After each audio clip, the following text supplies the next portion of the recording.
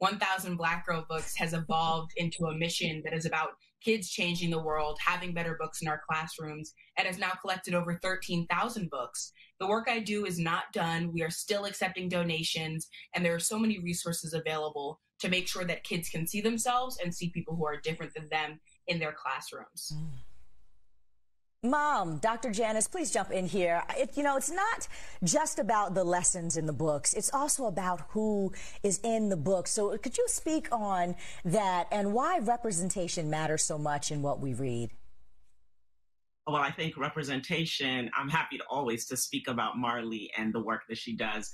Representation is an important step for helping children feel and understand who they are and to understand to whom they're connected, the history of the people that have made and paved a way for them.